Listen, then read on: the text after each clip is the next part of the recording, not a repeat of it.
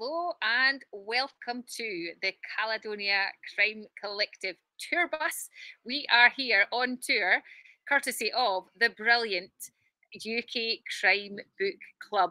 Here's the van, bright red CCC van. I'm Emma Christie. I'm one member of the Caledonia Crime Collective, and now we're going to step inside our tour bus and do an amazing tour of Scottish crime fiction. So just get inside the van we will start the tour by introducing the members of the CCC, starting with Marion Todd.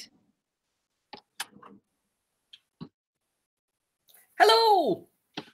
Very excited to be on this tour tonight. I've just put my seatbelt on and we're all ready to go. Excellent. Glad I was about to say, have you got your seatbelt on? We also will be joined by Deborah Masson, who will be um, in Aberdeen, but actually uh, Marion's going to uh, take her seat. Uh, then we'll go up to Inverness. We're going to be joined by Gareth Halliday. And after that, we're going to zip across to Dunblane and meet Andy Greig. Here he Here is. I am. Hello, everyone. In. Looking forward and to this. We, Excellent. Then we've got uh, Alan Martin a little bit further down. Hi there. I'm here. Just north of Glasgow. And last but not least, we will be finishing up this tour of Scotland in Glasgow with the one and only Jonathan Whitelaw. Hello, everybody. Excellent. So now we're everyone's got their seat on the bus. Everyone got their seatbelts on. Do you all trust my driving? Absolutely. Another do. question. Excellent. So let's start this brilliant CCC Caledonia Crime Collective tour of Scotland. Brilliant. Okay, yeah. so we're starting in uh, Edinburgh, where my novels are set, but we're not going to talk about them at the moment because I think we probably all know Edinburgh. Let's get on the bus and get up the road. We're going to head to Fife the kingdom of Fife. And in the kingdom, there is not a king, but a queen of crime fiction, and her name is Marion Todd. So we're going to cross the bridges, the magnificent bridges, uh, just outside Edinburgh, where once, many moons ago, I pushed a potato across the Forth Road Bridge with my nose to raise money for charity. Long story. My wrists have never been the same. Um, and we're over the bridges, we're into Fife, and our local guide, the magnificent crime writer Marion Todd will take over the microphone. Excellent. So we're now in the Kingdom of Fife. St Andrews is towards the the top of Fife, and, and we're entering from the, the south, I should say north. And there's various ways you can go. You can take the boring motorway, which is very fast. You can take the sort of cross country route, but I like to go round by all the, the kind of little seaside towns like Burntisland and Aberdour and Kinghorn, and round the East Neuk, which is the name for um, a part of Fife where there are lots of fishing villages. So we go around by that, and then we start heading north. And as we approach St Andrews, no matter which road you come in from, from the south, there's three different roads. Uh, you have an elevated position, and you're looking down on the town. And the thing that stands out is, first of all, that you have the North Sea on your your right hand side on the east. Um, with the East Sands, which is one of the small, the two beaches in St Andrews, it's the smaller of the two. And in the distance, you can see a very tall St. Rule's Tower, which is mm. in the grounds of the ancient cathedral, which dates back to the 14th century. The important thing about the East Sands, and this is very important, so don't miss this, is the Cheesy Toast Shack. I have to say, the best toasties I have ever had. They're the size of a house brick, so delicious. Um, if you're a macaroni cheese fan, they do a macaroni cheese toasty. So we're quite hungry after our journey up from Edinburgh. Um, so grab yourself a cheesy toasty, head along the East Sands for a little bit of a walk, cross the bridge at the small harbour, and you're into the main part of St Andrews. If you pass the ruined cathedral and St Rule's Tower, the first of three main streets you come to is South Street. They're called in this order South Street and then Market Street and then no prizes, North Street. Um, South Street is is a lovely kind of leafy um, street, shops on one side and lovely buildings on the other, um, with lime trees along to give you shade in the summer. And towards the west end of South Street, there's the ancient Westport Gate, um, which I've mentioned a few times in my novels, just to prove that we are in St Andrews. The next street up, Market Street, is is a bit, you know, it's got lots of shops and things. That's fine if you like that kind of thing. But we're going to go round to North Street, where um, lots of the university buildings are. St Andrews uh, has one of the oldest universities. It's actually the third oldest English speaking university in the world after Oxford and Cambridge. But it's not a campus university as such because it's quite a small town and the buildings are scattered throughout the town. So when nice buildings have come up for sale, the university has mm. bought them. So you might have something that looks like someone's house, but it's actually the Department of Geography or, or that kind of thing. Um, in fact, the one I would recommend that you have a look at is down on the, the final street, which is quaintly called the Scores. And that's the Department of Economics. It is a beautiful building. And next door to that is the ruined St Andrews Castle, which is something to behold. It, I think it's a historic Scotland or National mm. Trust um, monument. You can go around that. And as you walk down the scores, you might wish to look at the houses and things and the buildings that are there and reflect that it's Scotland's eighth most expensive street. Lots of statistics today. I've been mugging up for this this tour. I hope I get brownie points for this. Um, it lots of people. Uh, university have lots of buildings. So it's lots of bed and breakfasts and small hotels. And then on the corner of the scores is um, a very iconic building, which you'll see from the other direction in St Andrews, called Hamilton Grand. And I think it's something, I think the rooftop uh, penthouse suite is several million pounds, which in Scotland is a lot of money for a property. Um, as you come to the end of the scores and you have this, this expensive property on your left, if you look out, you'll see the West Sands, which is a much lar larger and longer beach that um, goes right down to the Eden Estuary, which is a bird reserve. And behind the West Sands, there's um, like a putting green. I think it's it's where they maybe play golf or something like that. Um, possibly the oldest um, the oldest course in the world. The, one of the oldest, the best known mm-hmm. anyway. The old course in St Andrews, um, next to the old course hotel. Um, but they do actually have a putting green, and it's called the Himalayas so mm-hmm. called because it's a very bumpy course and um, it's it's surprisingly difficult. I think I've gone round it in about 196 or something like that strokes. So you know that's that's your challenge to beat.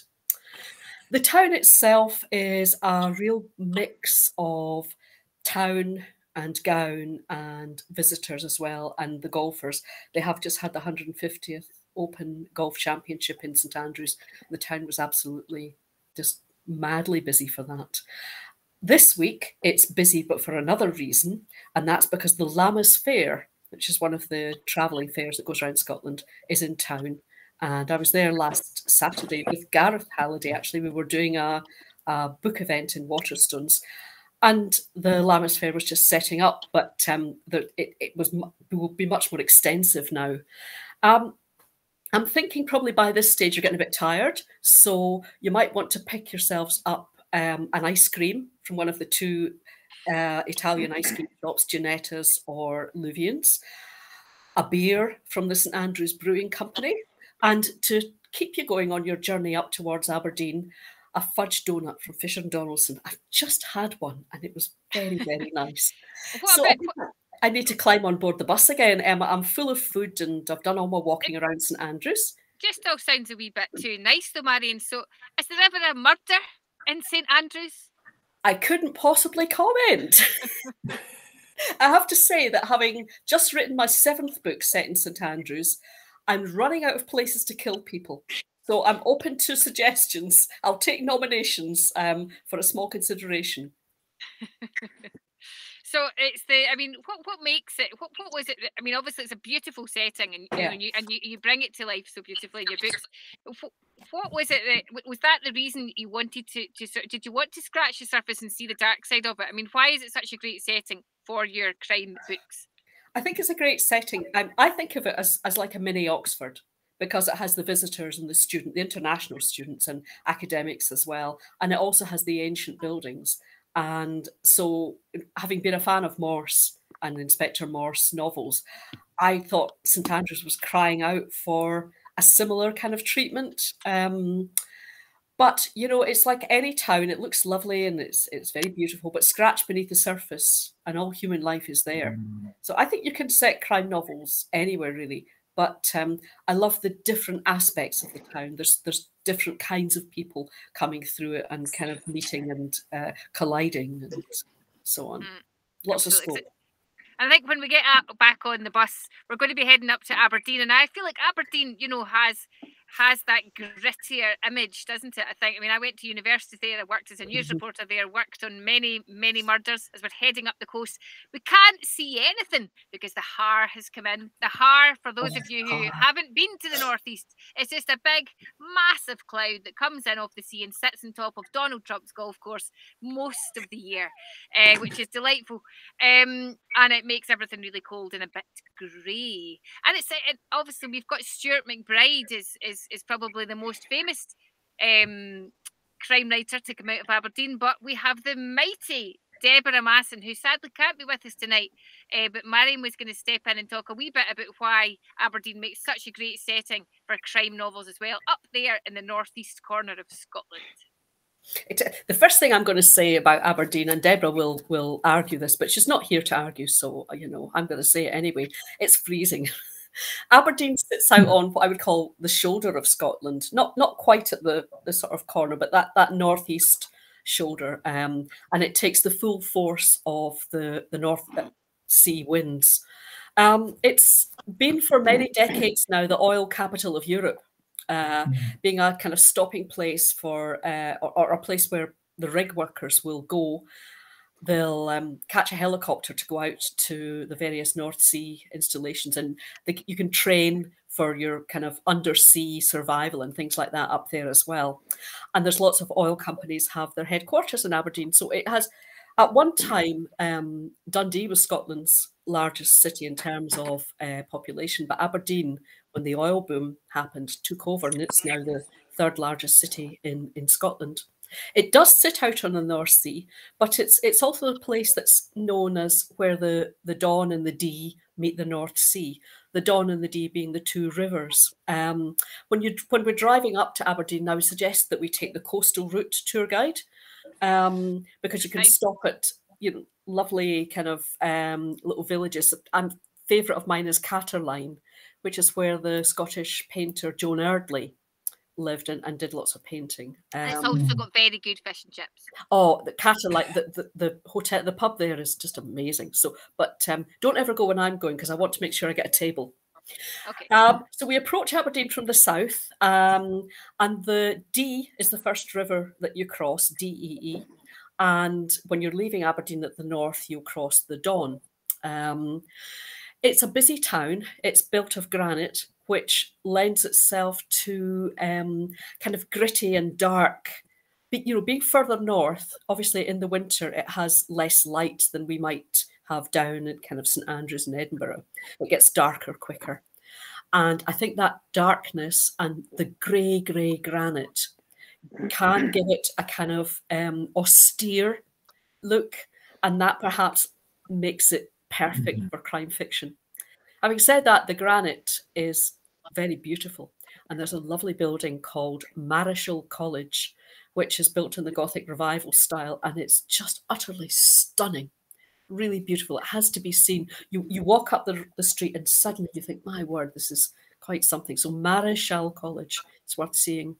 And then with within a mile or so of the Gothic splendour, there's actually within Aberdeen itself a tiny little fishing village called Foot F O O T Dee E E, because it's at the foot of the D, but the locals call it Fitty. Fitty. Okay. And this was built for the um, for the uh, the fishing work, fisher folk. And they did a very clever thing with Fitty. Um, they built all the houses kind of in a square. I would, you know, like like four sides, um, and they all face inwards so that they were protected from the the gales that come in off the, the North Sea. Um, so they didn't get the worst of the weather. It's an incredibly clever idea and something that was quite ahead of its time then. Mm. Um, I think it's now uh, listed and protected, and it's the quaintest little thing. It's like I spoke as we came up from Edinburgh about um, the East Neuk fishing villages. Well, this is like the East Neuk in miniature. It's absolutely charming, really, really lovely. And of course, Aberdeen um, is very uh, popular with crime fiction readers because it has its festival called Granite Noir in February every year, and it attracts some really big names uh, to it. Um, so that is worth putting in your your calendar. So if you've walked around Aberdeen, you've had a look at the beach. There's a lovely, lovely beach with a promenade. You've walked around Fitty and had a look at that. You've gone to see Marischal College. You'll be getting a bit puggled now. Good Scots word, puggled. So I would suggest that you find yourself a bakery and buy a rowie to keep you going on the next leg of your tour. And a rowie, also known as a buttery, is a kind of flattish roll that's got so much butter in it that I, I think they were originally made. Someone will tell, correct me in this, but I think they were originally to kind of keep um, keep the the fisher folk uh, sustained because oh, they're really fatty. to sleep for sure. Salty as well. Um, you'll you'll certainly need another pint of the St Andrews Brewery, uh, St Andrews Beer Company, Brewing Company beer after you've had a rowie. But I think if you take your rowie and you no crumbs on the bus, obviously we don't want to make a mess, so um, just be careful about that. Get back on the bus, and we're about to say cheerio to Aberdeen. We're going to go head over the the River Don, over Bridge of Don, and up towards let, let's take the scenic route let's let's head up towards inverness taking in some of the the area that you used to work in Emma towards Elgin and so on aye yeah, so I mean, I think I wonder. I'm just wondering if there's ever been a, a death by by buttery or murder by buttery. It's maybe a, a, way that bakers secretly murdered people they didn't like was feed them up in butteries, and you're guaranteed to have a heart attack within about two and a half years. Um, I'm using you might, you might say. You might say that they've been butteried up. Oh, I'm here all night. I'm here all night. Thank you. Don't give the day job. so I I actually worked as a crime reporter in Aberdeen, uh, and then again up on the road out of Aberdeen towards Inverness, and and it is a beautiful part of the country. Big skies, big open skies, cold as hell, but amazing blue skies and, and a lot of space. So cold. Um, aye, it's, it's it's it's not a warm place, and that does add to this sort of creepiness because you find that you're, you're hunched, you've got your hood up, and there's a lot of sort of dark corners, and also in Aberdeen, you've got that amazing contrast between the really wealthy oil people and then the students, and then you've got a lot of areas, you know, poverty and such like, and um, my first ever murder in Aberdeen was a double murder uh, on the top. You've been murdering of, people. Uh, no, it wasn't my. I was covering it as a news reporter. Uh, you weren't responsible for it. I wasn't. I wasn't. I was responsible for probably quite a few mistakes in the article that followed, but we won't talk about that. Um, but there is that um, again that contrast. I think in Scotland where you've got well, often I, I feel like the places, um, you know, the the, the the country itself, the city itself, the towns and villages really become such an important part, I think, of the stories in crime fiction. Mm-hmm. So we've had the wee towns and villages, we've got this big city with the cosmopolitan vibe, and then moving up to the Highlands. You know, if, if you haven't been to the Highlands, I mean, it's the most spectacular place. Again, wide open spaces, small communities, big mountains, trees, all these sort of dark little lanes without streetlights. Gareth Halliday with a cat on his shoulder. Uh, why why set your books there, Gareth? What is it about the Highlands that makes it such a good setting for crime fiction? For me, um, I just kind of love that um, balance you have between the like the centre of Inverness, which is quite urban, and then all, all this landscape around it, which feels like kind of really wild. So I feel like that works really well as this kind of balance, almost like between good and evil, if that makes sense. Um, it's what we kind of love in crime fiction is the idea of like goodness and evil um, balanced together. So, yeah, I think that's what draws me to it. And you're, breaking up a wee bit from. I'm not sure if that's you or whether it's me. Um, but so you because the Highlands are, you know, it's, it's not just um, it's not just one wee corner of Scotland. It's a vast area. So how do you choose? You know, you do a lot of hiking, you do a lot of outdoor mm. stuff. Are you sort of out hiking? You say, "Oh, this would be a great place to find a body," or how, how do you how do you choose your settings? Yeah, like I never kind of set out to um, write a detective series based in the Highlands, but I was kind of like writing a novel, and I was over on the west coast near Gairloch, and um, you know, DI Monica Kennedy just kind of a emerged to solve a crime over there, and uh, she kind of took over the, the story. And Inverness ended up being the main backdrop for the series. And Under the Marsh is the third novel in the series, uh, which is set in Inverness. And you also have a camper van in your stories as well, don't you? I love a van my stories, and I know that's intimidated you a lot over the years. Um, there's no there's no killers in this camper van, I don't think. Um, although we did have a strange knock at the door last night, and then we saw two people anyway, that's not, it was a bit scary. We were sleeping beside a graveyard last night because there's always a flat car park and they're always in flat areas. It's a very good location to sleep in a camper van. Top tip, uh, in your if you're in a camper van your way around Europe. But we're not going to stop in the graveyard near near the uh, any of our crime writing um, scenes because that would be a bit too scary. But um, let's whiz down the road a wee bit. Um, we're still we're still in the Highlands, but we're not quite as, as, as north as Gareth. We're going to stop off with Andrew Greig. is going to take over the mic and tell us about his settings and his locations and why he finds them so inspiring for his brilliant stories. Andrew Greig, take over the mic. Thank you very much. Um, yeah, Fort William, uh, not that far down the, the road from there uh, on the shores of Loch Linnhe, the, one of the, the longest uh, and narrowest sea lochs in Scotland. Uh, obviously home to uh, the highest mountain in the in the country, uh, Ben Nevis. Um, and it's about 10,000 people, I think, uh, the last census. Just about 10,500 people live there. So plenty of people to kill, which is a big advantage. and similar to Gareth, I guess, um, I've chosen it because it's got the, the wide open spaces all around it.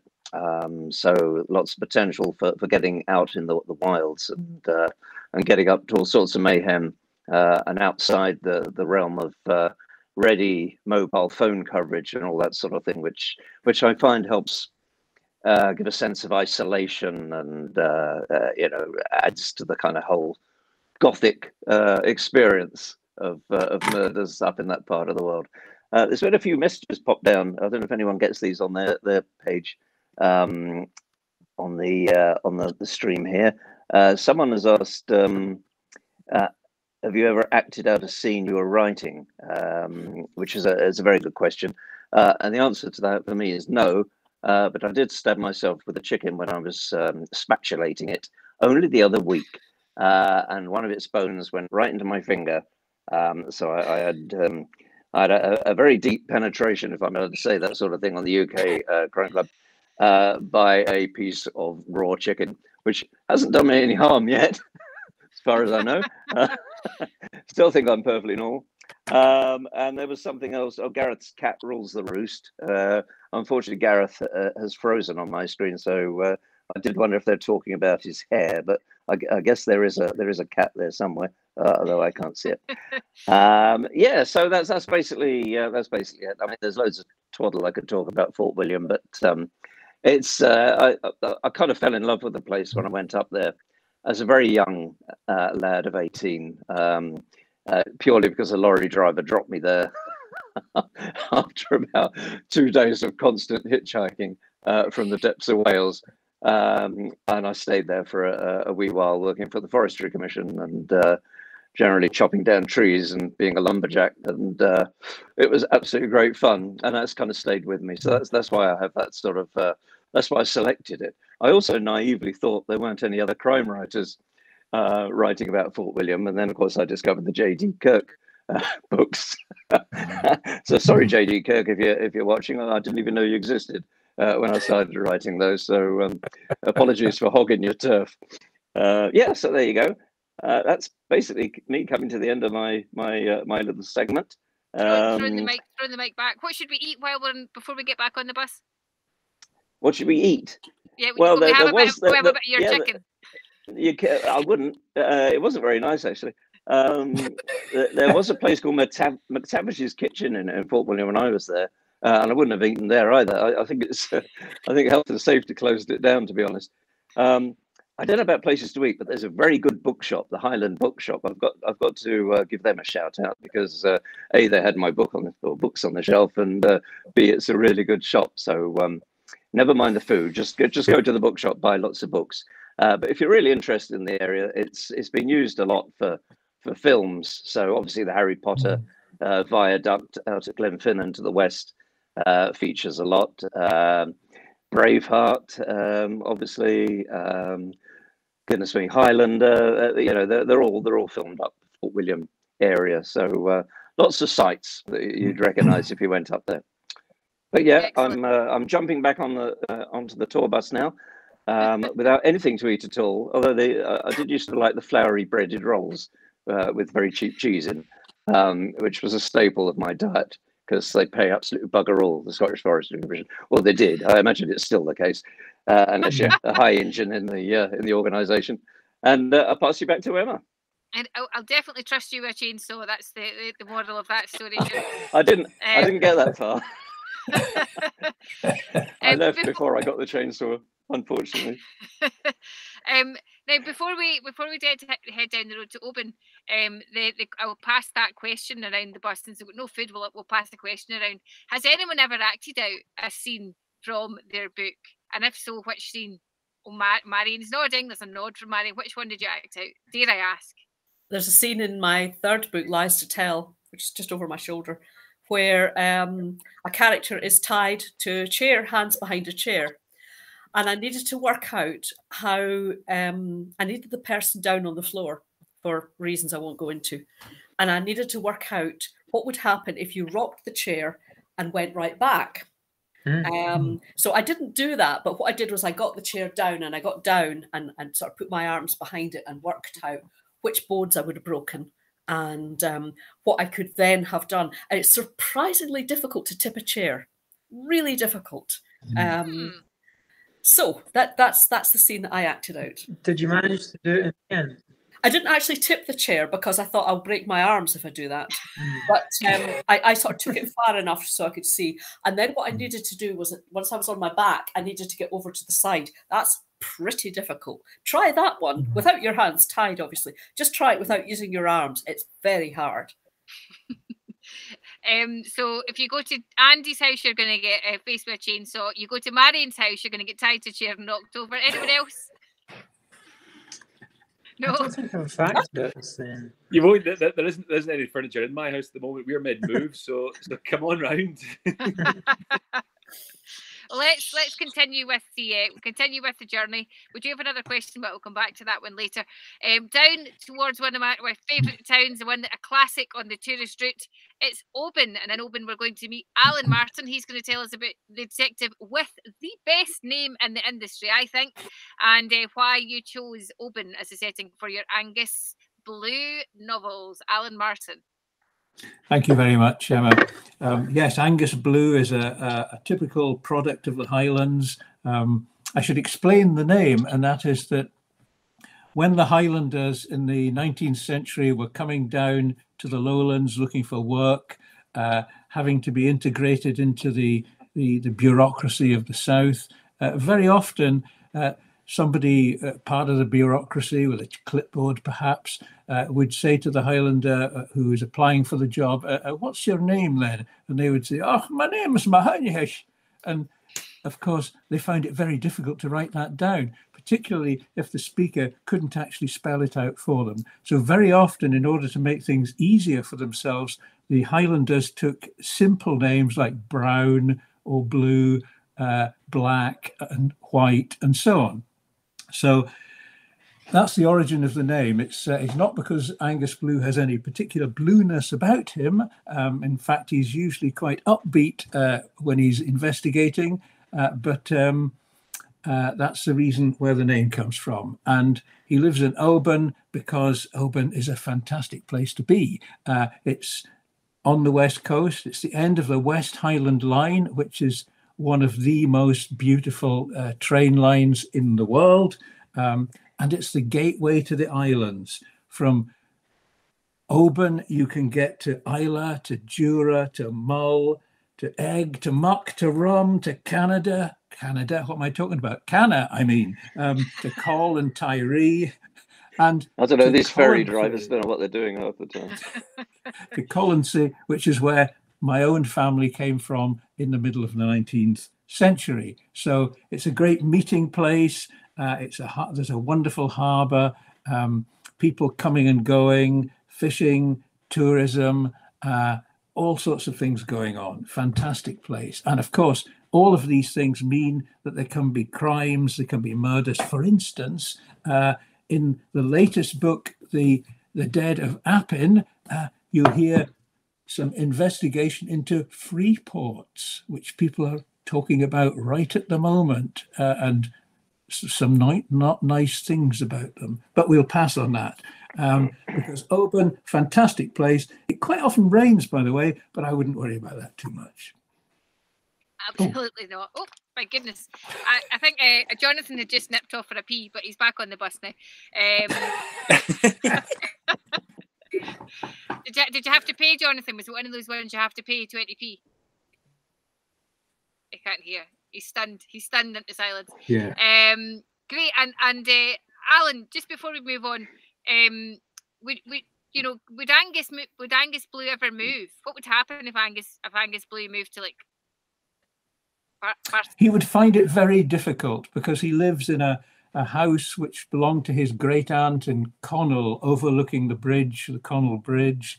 Um, uh, he would find it very difficult. Uh, the thing would be, I think, that if he did move somewhere else, he would always keep that house so that he could always return to it. And of course, he would be frequently called back by the police in Oban because of his uh, amazing knowledge of the area and his general uh, ability to solve the more obscure cases, which he does frequently and very successfully. I think Emma's gone. We've lost her. We've lost our tour guide. Somebody else has nipped out to go Well, to the um, ladies' room. That's a This is a difficult one because both Emma and um, uh, Jonathan have disappeared. So, uh, Marion, Can I? Can I Gareth, ask um, Andy, some Alan? questions. Um, I'm I still ask about the here. Can you guys hear me? I can hear hear you, Gareth. Um, in your books, Alan, there is a lot of whiskey, oh yes, and that kind of goes with being on the western coast of Scotland because of all the, the distilleries and the islands and everything. Um, do you think of whiskies? Is that part of your planning when you're planning a book? Ooh, planning what? Oh, I'm sorry. Did I say a swear word? I do beg your pardon. I'm afraid I don't plan. I'm afraid I just drink the whiskey and then write the book. Um, so, uh, it, but it comes in, of course, because Angus Blue likes whiskey. He, doesn't. does. He doesn't drink a lot of it, I have to say, because one glass is always enough to savor, to think about, to let it roll around the mouth, to smell the odors, to What's smell. Blue's favourite whiskey, Alan? If you had to choose Sorry? Which is Angus Blue's favourite whiskey? That's a question that would be very difficult to answer without annoying lots of distilleries. So I'm, I'm really going to say he has to keep that very quiet. But I will say it's probably from Islay. Islay is the island of whiskey. Uh, it's where the Pete Dead, uh, my first novel, was set. And uh, there's about 15 distilleries there now. There's a new one every year. Um, it's certainly worth a visit. If you like your whiskey, go to Islay, visit the distilleries. Not necessarily all of them, but at least enough to get a flavour because they're all very different, all very different. And that's why Absolutely. Angus has to has to savour the one, to savour the other, to think of the smokiness, the non-smoking, the heaviness. And this is the thing about Islay whiskey. It's got a heaviness that the Mm. lesser whiskies from Speyside um, don't possess. Anyway, I mustn't go on about this. So uh, that's my contribution to the eating and drinking aspect, I think. So you're definitely a West Coast whiskey man, rather. Oh, yes, I think so. Yes, I would say so. We're a space line. Well, I have to say the Orkney whiskey is quite good. Mhm. The Orkney whiskey? Orkney. Or- There's a distillery in Orkney, and and their whiskey is very good. Oh, our guide is back. So Yeah, sorry. let's let's go back to our guide. I, I had to pause and go and try and find Jonathan because he, he went, oh, I found him in a pub, face down, vomiting. Yeah. I'm, I'm sorry. I'm sorry. Uh, so I've, I've made him clean himself up before he gets back on the bus. Um, sorry. where, where did we get to? Uh, sorry. We were still in Oban. We We- should. Well, we're about to leave Oban. I think we've uh, we've it's worth visiting the distillery in Oban too. Actually, they have a nice a nice distillery. there. The 14 year old Oban is quite a nice dram. So um, on that point, I'll hand you back to Emma. We're certainly not handing back to Jonathan if there's whiskey involved. um, he's been drinking in the bus; it's not allowed. So let's uh, let's skip Glasgow for the moment, and we can we can take a wee we'll take a wee detour. We'll head back to Edinburgh first of all, uh, to Portobello, um, which is where my tales are set. So I have to confess, I've written two novels, two and a half novels that are set in Portobello. Uh, but until about five years ago, I didn't even know Portobello existed. I'd lived in Edinburgh, I'd visited Edinburgh, I'd worked in Edinburgh, and I'd never, ever been told or become aware of the fact that there's a big, massive golden beach at the edge of Edinburgh and a wee community called Portobello. And I found out about it because I was I offered to um, pet sit for a friend of mine who was going on holiday. She's got two hamsters. Uh, rest in peace, those blessed beasts. They're now gone. But at that time, they were still alive. So she left me with a handful of cabbage and two hamsters and said, you know, look after these. It's a fine, easy job. Um, my first day, I stepped out of the house, turned right, and saw the sea at the bottom of the street. And I thought, hang on, I'm in Edinburgh. And I walked down and found myself on this beautiful promenade in, in Portobello and just massive skies. I'm a big fan of big skies. Golden sand. There was dog walkers, there was school kids, there was crazy swimmers swimming in cold water with wheelie hats on.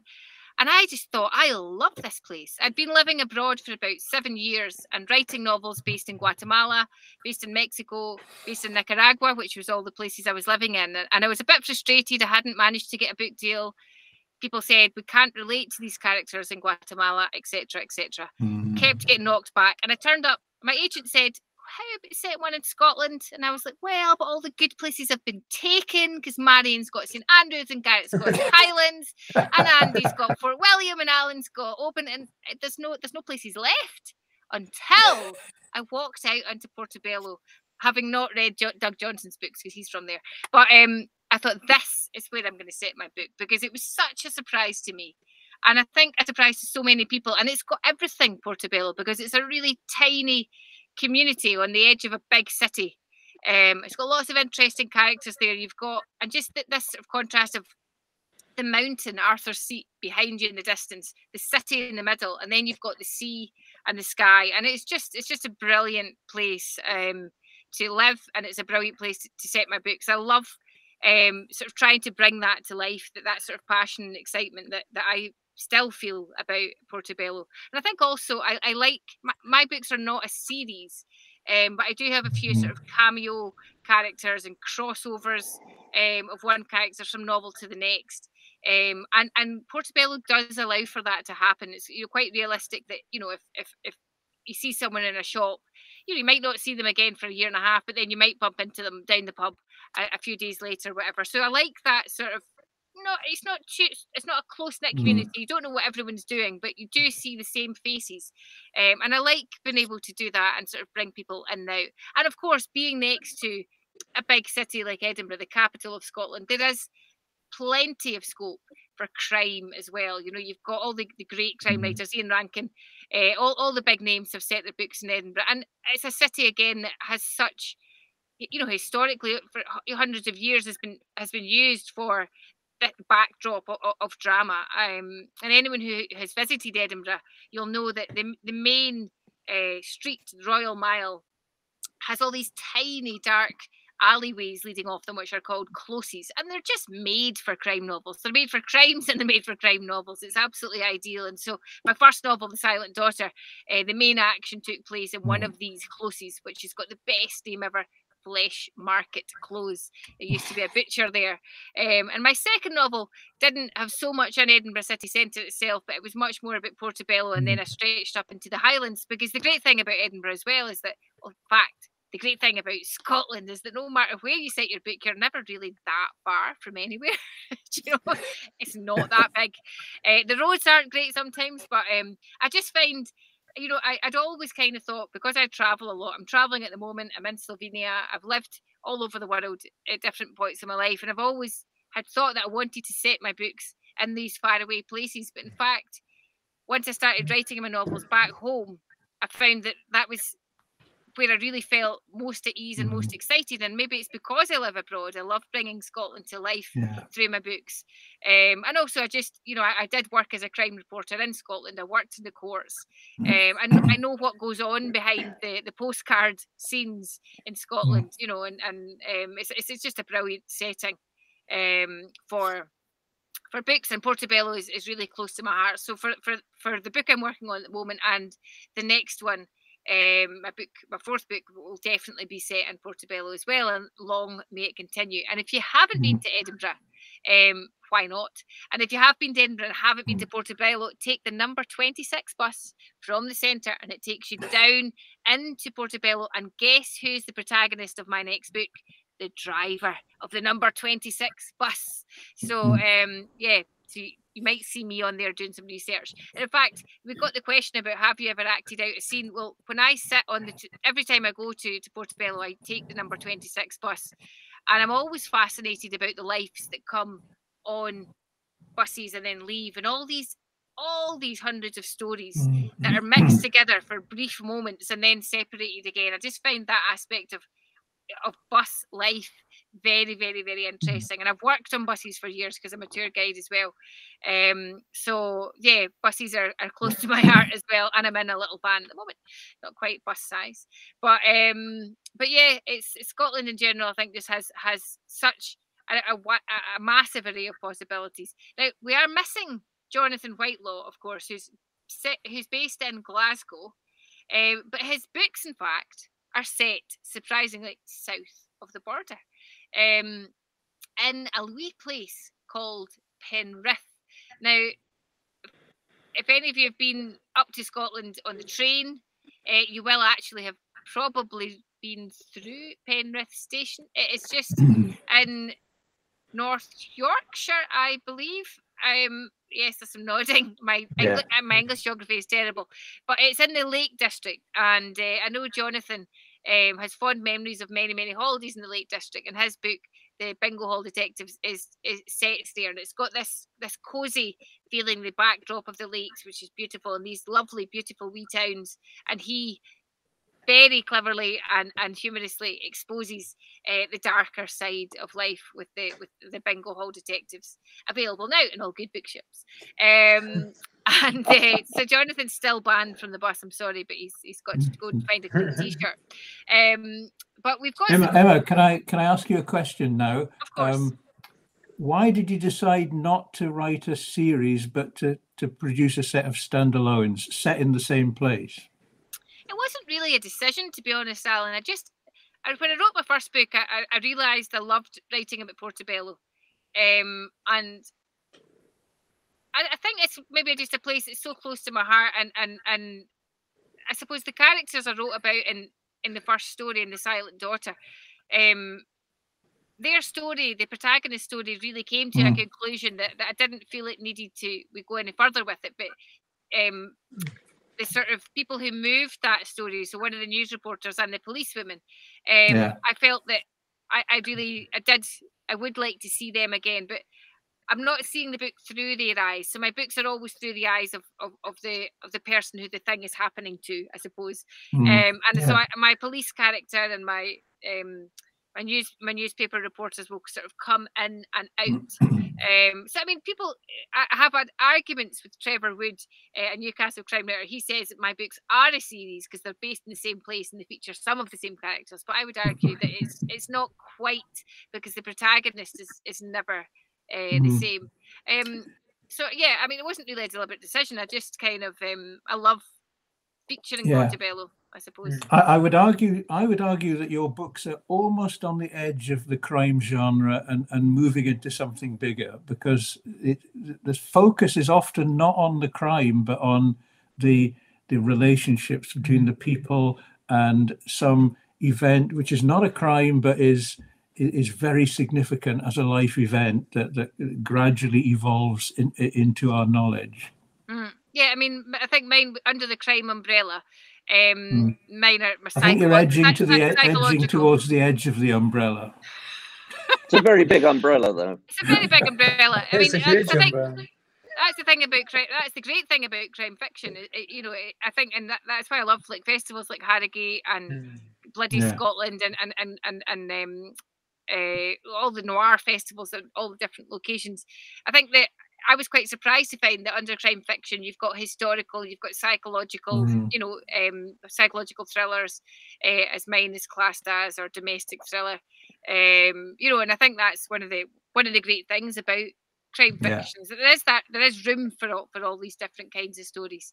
Um, you know, and crime touches touches different people in completely different ways, you know. And, and I think as a news reporter, I was always very fascinated by the what happens next. What happened to this Mm. person who I saw crying in court um, Yeah. because their granny, you know, did something and the, her granny get put away. Did you ever know, do follow up stories on those kind of people in your work as a journalist, or was it kind of always on to the next thing? So- Well, uh, uh, kind of. I mean, I was quite good at following up, but often you, you follow up with with the victims. Um, You don't necessarily follow up with with the perpetrators, and you certainly don't tend to speak to their families. Um, you Mm. know, and and that's a it's a funny thing in journalism. You know, when there's a, a murder or some sort of horrible crime, you you know you speak to the family of the the bereaved or or, or the victims, um, but very very rarely do you do you speak to the family or get any insight into the- the family of of, of, of the people who have committed crimes. And I think Mm. that, Mhm. that's it's quite an interesting one for me to sort of look at um just uh, look at take the crime and, and look at a sort of bigger a bigger zoom out a bit i suppose and, and, and have a bigger a bigger um picture on the whole thing. Yeah, Um, talking about coming back to stories, uh, you walked out of your flat in Portobello with two very healthy, happy hamsters uh, to discover this beach, and uh, and then they were dead. What what what happened? in the, what happened there? The reader wants to know. it, they, they died several years later i have to say um it was All right. nothing Yeah. nothing to do with the cabbage Wasn't wasn't your tender care? no. Um, they ble- blessed them. Um, no, I fed them the regulated amount of cabbage every day and took them out and changed the sawdust and all sorts of things. I was, I was stuff. very caring, very, Right. very caring. Um, now, Just we've just in an- case any readers are worried, you know. Mhm. if there's any hamsters in my books, I don't think there will be hamsters in my book. Um, is there not? Was there not?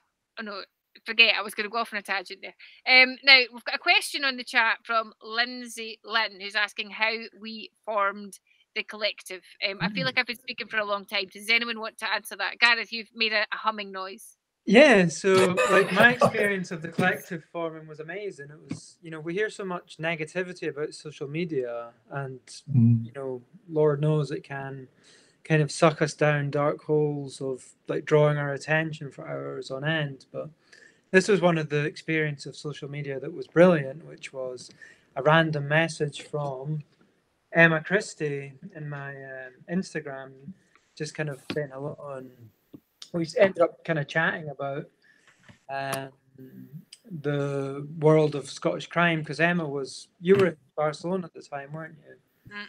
And so Emma was Mm. kind of just, I think she'd come to realise that she'd been writing books about Scotland, but she was kind of she didn't actually know any Scottish crime writers, so somehow we ended up, you know, becoming friends via Instagram Ah, she said she was you know kind of trying to like bring together some kind of collective and um i think i just kind of maybe give you some contacts of some people i thought might be helpful.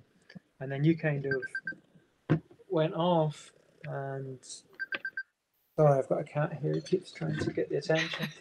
Uh, this is minnie by the way.